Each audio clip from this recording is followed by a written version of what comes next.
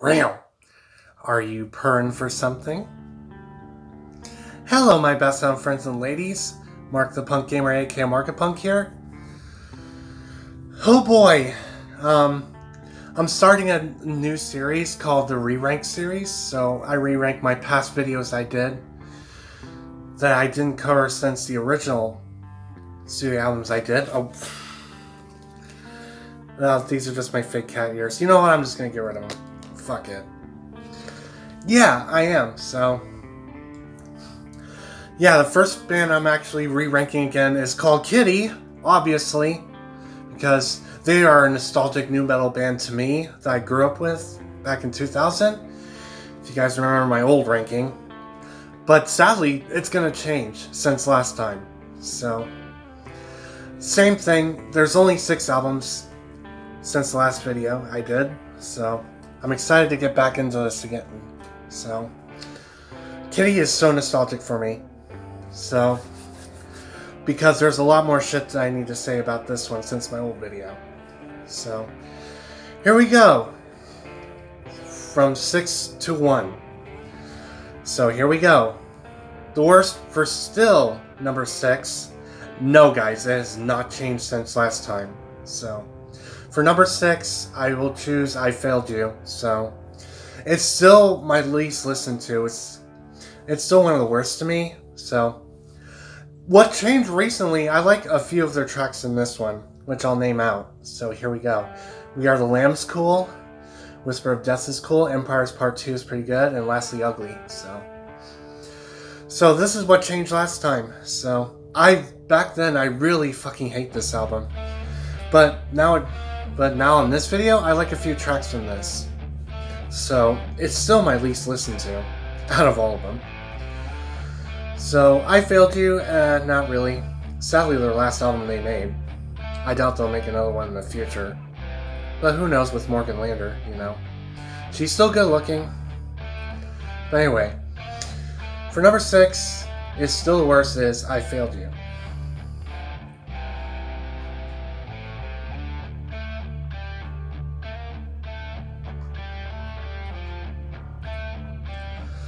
Okay, number five.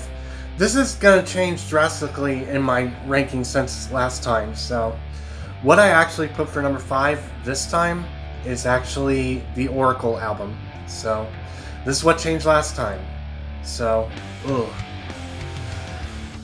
Uh, to me, it's not good as its predecessor, to be honest. And this is their second album. So, there are some cool songs within this album, which I'll name out. So, Oracle in the winter, Severed, Wolves is cool. What I Always Wanted, Safe is cool. And lastly, Pink Lemonade's awesome. So those are the only songs I do like from Oracle. But in the downside of this album, it's actually pretty boring to be honest. It feels shallow for the, for the second album, so not really a fan. It's my second least favorite out of all Kittie albums, so that's what drastically changed since last time. So. I would put the Oracle at number five.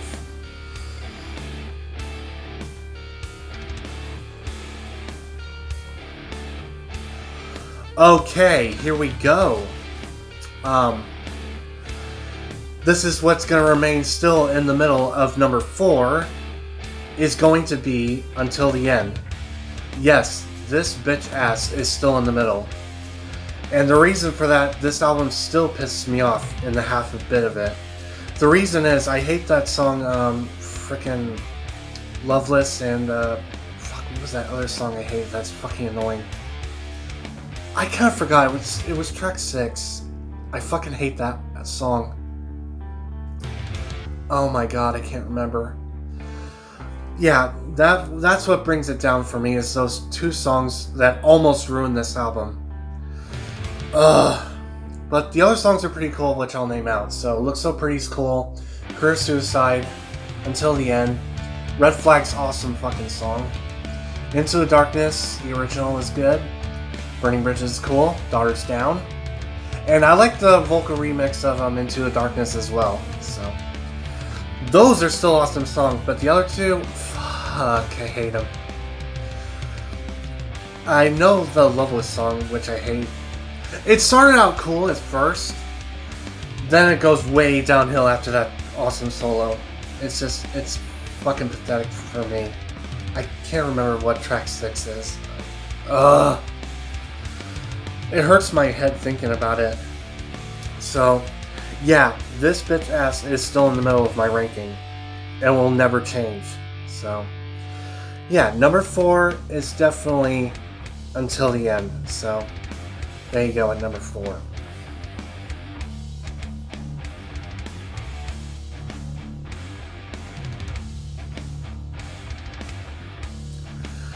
Alright, we made it to our top three here. So, my top three albums that drastically changed since last time in my old video.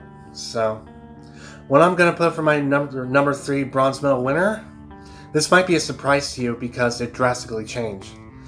So, for number three, I'm going to put In the Black. So, that's what changed recently. This used to have been number one last time I ranked this in my original first video I did. Not anymore, so you belong in the bronze medal, so. Uh, but the songs I do like is some of them now, so. Kingdom Come is like an intro to this album. It's pretty cool intro. Cutthroat's cool, Sorrow I Know is cool. Forgive and Forget is cool, Now or Never. Sleepwalking, and lastly, The Truth featuring Justin Wolf of Arxia I don't know how to pronounce it, but those are the only songs I like now, so that's what drastically changed since last time.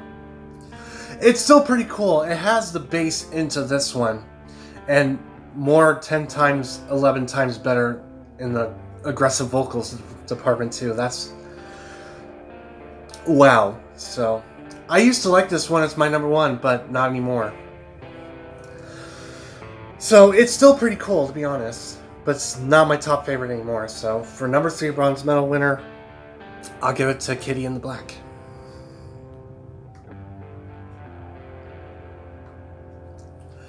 Number two silver medal winner. Oh boy, this raised up a, a hell of a lot higher since last time. So the album I'm going to be naming for my silver medal number two winner is going to be Funeral, Funeral for Yesterday. So there you go, that's what drastically changed since last time. This is actually Trish Doan's bassist's last appearance in this album, so which is sad. So I'm starting to appreciate this album more because the reason for that is this is Morgan Land's Morgan Lander's best vocals in this album. That's why it raised a bit higher for me. So I'm starting to appreciate this goddamn album now. So there's a hell of a lot of songs I like from this more the more and more I, I listen to it, uh, the more I appreciate it. It would be number one years later. I don't know. So the songs I like from this, let me see. There's quite a lot. So you're ready for a marathon. Feeling for yesterday's a good beginning song. Breathe cool. Everything could have been. Slow motion. Never, never again. Flower of flesh and blood's cool. Around your heart. This Too Shall Pass Witch Hunt, and lastly, The Change. So, I am starting to appreciate this album more because of her vocal work in this one. I absolutely love the fuck out of her vocals in this one. If you want to listen to a good vocal type Kittie album, this album is for you. So, there you go. It's a reason I put this as my silver medal number two. It's it's pretty damn good in my opinion. It's just flawless for the vocal work. So for number two, for my silver medal winner, it's definitely Funeral for Yesterday.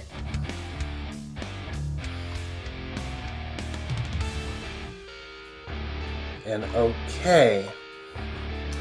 Prepare to be surprised what my number one gold favorite is out of all six of them, so prepare yourselves. I have a lot more nostalgic for this one more than this my second previous one the one I had most nostalgic for in the early 2000s is definitely the original Spit album. Goddamn. So, this is a nu metal classic for me in the early 2000s. That's why I love Spit more now. So, it's in the top of my ranking. So, it since it changed last time. Oh, so very nostalgic for her debut. So for their debut, sorry. So Morgan Landers take on her vocals in her debut. So God, I love this one more. It brings nostalgic to my heart for me for this one. So I'm gonna name all 12 tracks since I love the hell out of Spit nowadays. So here we go. Spit, Charlotte, Suck. Do you think I'm a whore? Brackish, Johnny, Trippin', Raven, Get Off, You Can Eat Dick. Choke, Paper Doll, and lastly Immortal. So I love the hell out of Paper Doll still to this day. It's still one of the best songs ever made from her. God, even Brackish is a good one. Charlotte's a good one. Uh, there's a, all of them are good tracks to me, from beginning to end. My fucking god! So huge nostalgic for me. So yeah, this brings it up all the way to one. So for for nostalgic sake of this band. So, oh boy.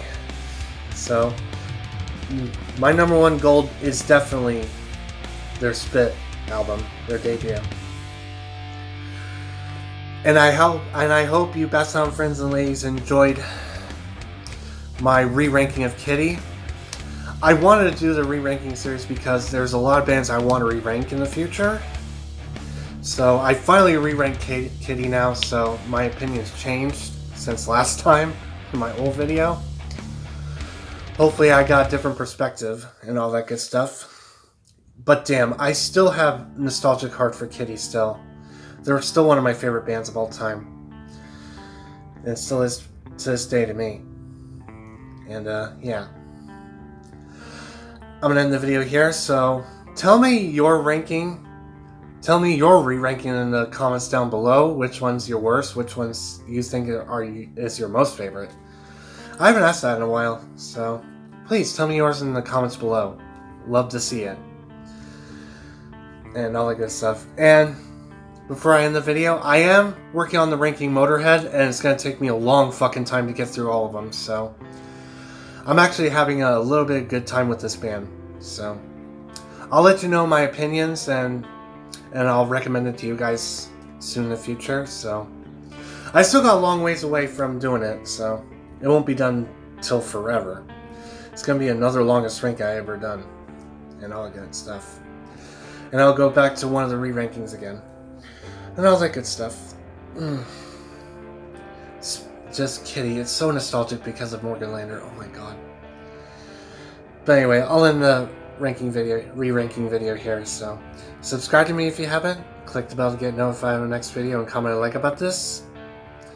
And most importantly, share this video so I get more views and subscribers. And I will see you Basset Hound friends and ladies. Hold on. On my next video. Seizure later.